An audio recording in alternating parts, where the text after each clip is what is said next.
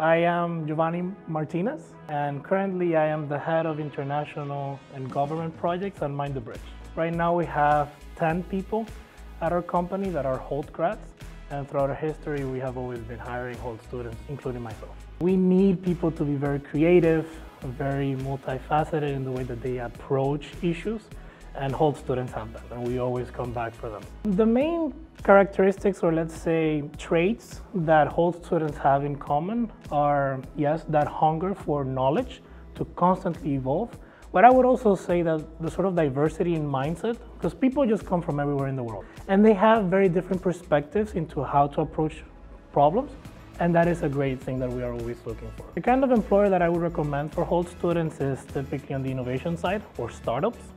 mainly because you need that sort of flexible mindset in an environment like a startup.